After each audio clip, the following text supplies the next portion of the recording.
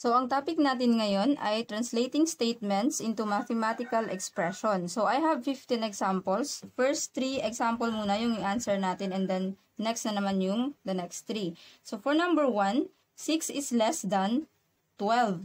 So, ang paggamit ng is dito ay, for example, ginagamit ang is kapag may equals or greater than signs or less than signs, ganyan. So, ganyan yung paggamit ng is. So, 6 is less than 12, meaning, ang 6 daw ay mas maliit kaysa sa 12. So, less than 12. So, ganito lang yung mathematical expression for this statement, which is 6 is less than 12. Now, minsan naman, 6 is equals to 12. Is. So, gumagamit din ng word na is. So, pag 6 is equals to 12, so 6 is equals to 12. Ganyan lang. Now, for number 2, the square of the sum of the two numbers ang square daw ng sum ng dalawang numbers. Now, pag sinabing sum, ibig sabihin yan addition, which means plus. Ang ibig sabihin naman ng square ay yung raised to 2. Yung example, may ano tayo, may number tayo which is 2. And then, ang square na ibig sabihin ng square ay raised to 2. Ito yung exponent na 2 sa taas. Ang sabi dito, ang square daw ng sum ng dalawang numbers yun yung gagawin nating mathematical expression. Now, pag sinabihan kayo ng numbers, yung ganun lang, yung walang minention kung anong klaseng numbers, kung anong number yung dalawang number na minention dito, kayo na yung bahala mag-represent. So, commonly, ang ginagamit to represent a number is x, y, z. So, x, y, z. Now, ito kapag tatlo naman yung hinihingi na numbers. Now, kapag dalawa lang, mas magandang gamitin lang yung x pati y or kasi minsan-minsan lang din ginagamit natin ang z. x and y ang parati natin ginagamit to represent a number. So, for this statement, gagamit tayo ng x and y na variables to represent yung sinasabi nating dalawang numbers dito sa statement. Okay, yung sabi dito, the square daw of the sum. So, ibig sabihin, yung dalawang number, i-add mo, tapos yung sum nun, i-square mo. To represent that this statement, x plus y ang gagamitin natin, di ba? And then, yung kapag i-add mo yung x plus y, i-square mo yung sum niya. Kukunin mo yung square niya. So, gagamit ka lang ng parenthesis to represent the sum. Kasi x plus y, x plus y lang. Hindi, hindi mo may ma-add yung x plus y. Hindi siya magiging xy. Hindi, hindi pwede yun. Kasi ang xy, x times y yun. Ito, x plus y. To x plus y, and then kukunin mo yung square ng sum. So, lalagyan mo lang ng raised to 2. So, ganito yung pag uh, represent for the square of the sum of the two numbers. So, di ba, pag i-add mo tong x plus y, makukuha mo na yung sagot. And then, yung sagot na yun, i kukunin mo yung square niya. O, for example, this x plus y, ang answer is, sabihin natin 4. And then, raised to 2 is equals to 16. 4 times 4 is equals to 16. So, ganito lang yung expression niya. Now, for number 3 naman, 8 less a number. Now, baka sasabihin yung 8 less a number. Parang 8 less a number. Ganito, 8 is less than. So, mali. Kasi, ito, hindi siya gumamit ng is. Di ba tandaan nyo, pag is less than, ganyan, ganito yung symbol na gagamitin. However, kapag sinabi na 8 less a number, minus to. Less. Yung 8 daw, minus ng number. So, 8 less a number. So, ganito lang yan, 8 minus x. Now, for number 4, ang sabi dito, the age of Anna 5 years ago. So, ibig sabihin, isusulat mo yung age ni Anna 5 years ago. Okay. Now, dito hindi mo alam yung age ni Anna 5 years ago. Pero alam mo na yung present age ni Anna, example, this one, let x is equals to the present age of Anna. Now, yung ginamit ko na variable x, yan yung magre-represent sa age ni Anna ngayon. So, ibig sabihin, ang age ni Anna 5 years ago ay x minus 5. 'Di ba? Kung example, si Anna ngayon ay sabihin nating uh, 20. And then 5 years ago, so pag sabi natin 20 to yung x, so 20. Then minus 5. So ibig sabihin 5 years ago, ang age ni Ana ay 15. So ganito lang yung mathematical expression sa statement na to, x minus 5. Now, for the next, number 5 naman, the square root of a number. So, mas madali lang to. Di ba basta may sinabing a number, hanap ka lang or gagamit ka lang ng variable. Now, gagamit ka lang din ng isang variable kasi a number lang daw. So, ang gagamitin natin for this statement ay x lang. Pwede naman gumamit kayo ng y, depende yan, nasa sa inyo yan. And then the square root of a number, yung square root naman, di ba ganito, yung symbol ng square root, ganyan. So, ibig, ang sabi dito, yung square root daw ng number na yon So, ibig sabihin, ang square root ng x. So, ganyan lang yan. So, ito na yung answer, the square root of x. Okay, for number 6, ang sabi dito, the difference of two numbers is 45. So, meron na namang sinabing dalawang numbers. So, ha, maghahanap ka naman or gagamit ka ng dalawang variables. So, gagamit tayo ng x and y for to represent the two numbers. So, ang sabi dito, difference. Pag may nababasa kayong difference, ibig sabihin yan, minus. Ima-minus mo yung dalawang numbers ang sabi dito. Tapos yung answer, di ba may ginamit dito na is. So, ibig sabihin, ang is na to, representation to ng equal sign. Ganito yan. So, the difference of two numbers, so x minus y is equals to 45. So, ganito lang yan. Yung dalawang numbers, yung x and y. Yung difference na sinasabi, ima-minus mo yung two numbers na nire-represent mo, which is x and y, and then is 45. Ang meaning ng is ay equal sign. So, equals 45. So, x minus y is equals to 45. So, ganito yung translation na into mathematical expression. For number 7 naman, 15 multiplied by a number. Na madali lang to kasi mapipili ka lang ng isang variable. So, gagamit lang din tayo ng x ulit. So, itong num a number, x to. Pwede kang gumamit ng y, z, a. Pwede kang gumamit ng ganon. Depende yan sa'yo.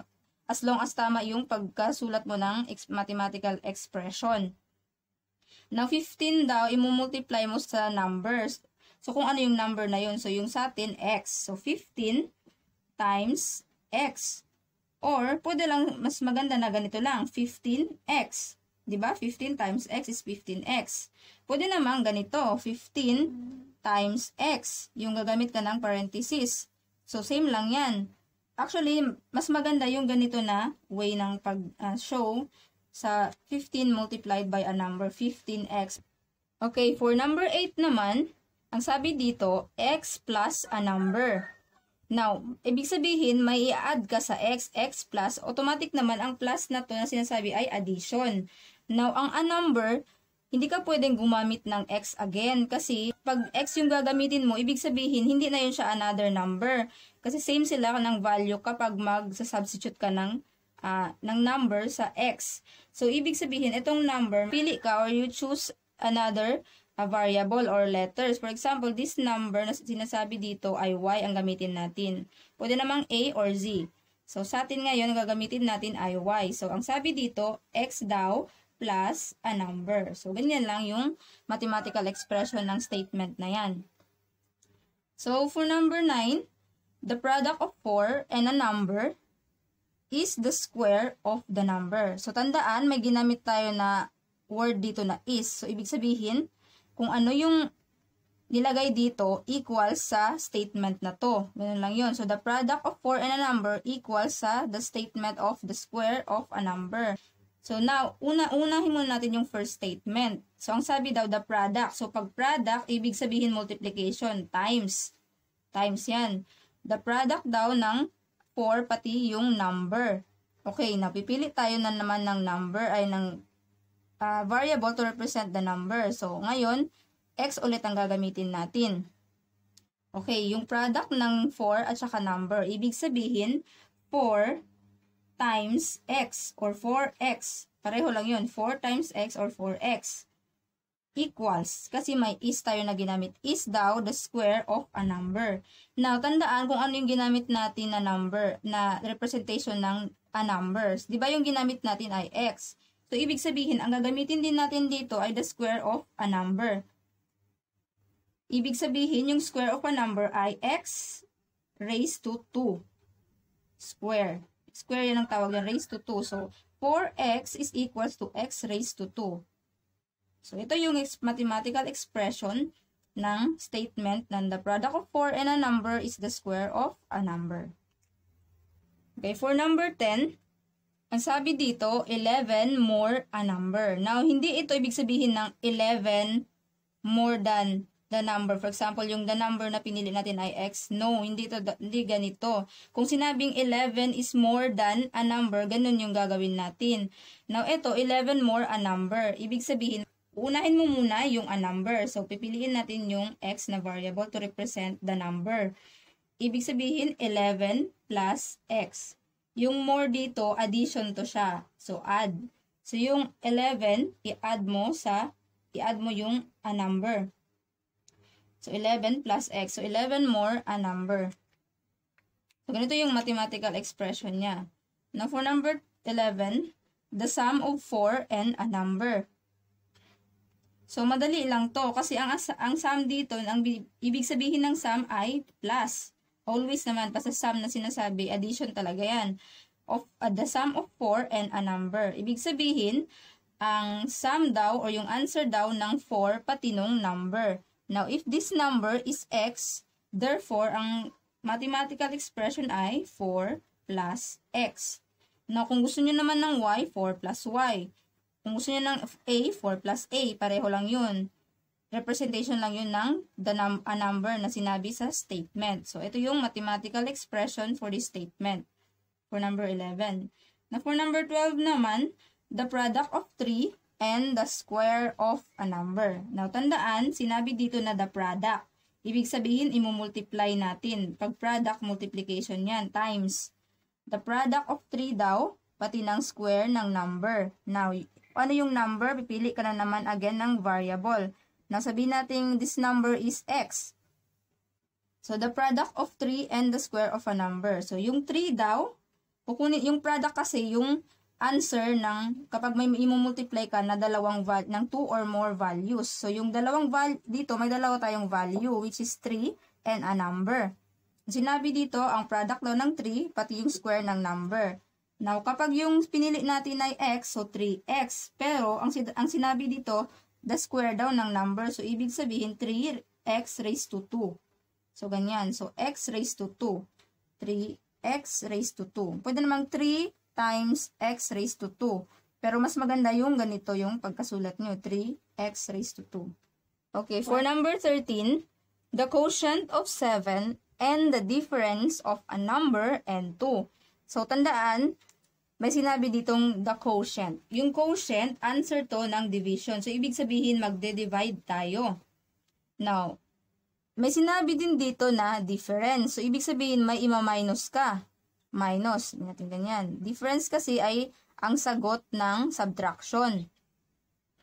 Okay, ang sabi dito, yung quotient daw ng 7 and the difference of a number and 2. Now, yung number, magre-represent tayo as, i-represent natin yung number na sinasabi dito as x. So, difference of x and 2. So, unahin muna natin yung difference of x and 2. So, difference of x and 2 is x minus 2. Pero ang sinabi dito, the quotient daw of 7 and the difference of number and 2. So, ibig sabihin, yung 7, pati yung difference ng number and 2, i-divide mo yun siya. So, isulat natin yun into mathematical expression, pwedeng ganito. Let's say ganito, oh. Uh, 7 divided by x minus 2. Ganyan. Na ang mas magandang representation ng statement na to ay ganito. 7 over x minus 2. Kasi kung ano man yung x na, ng value ng x, pag ima-minus mo sa 2, yung answer nun ipang-divide mo sa 7. So, 7 divided by x minus 2. Tapos, ito na yung sinasabing the quotient of 7 and the difference of a number and 2. So, ganito, 7 divided by x minus 2.